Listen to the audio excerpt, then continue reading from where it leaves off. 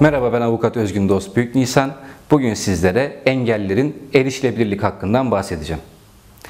Devlet ülkemizin taraf olduğu engellilerin haklarına ilişkin sözleşmenin bağımsız yaşayabilme ve topluma dahil olma ve kişisel hareketlilik başlıklı 19. ve 20. maddeleri uyarınca engellilerin diğer bireylerle eşit koşullar altında toplum içinde yaşama hakkına sahip olduğunun kabulü ile engellerin bu haklarından eksiksiz yararlanabilmeleri, azami ölçüde bağımsız hareket etmelerini ve topluma tam katılımlarını kolaylaştırmak için gerekli tedbirleri etkin bir şekilde almakla yükümlüdür.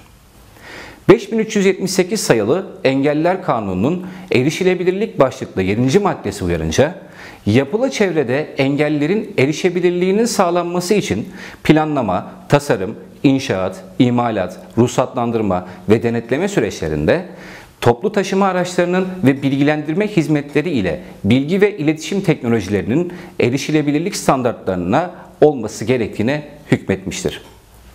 Bu düzenlemeler uygulamada nasıl işlerlik kazanmaktadır?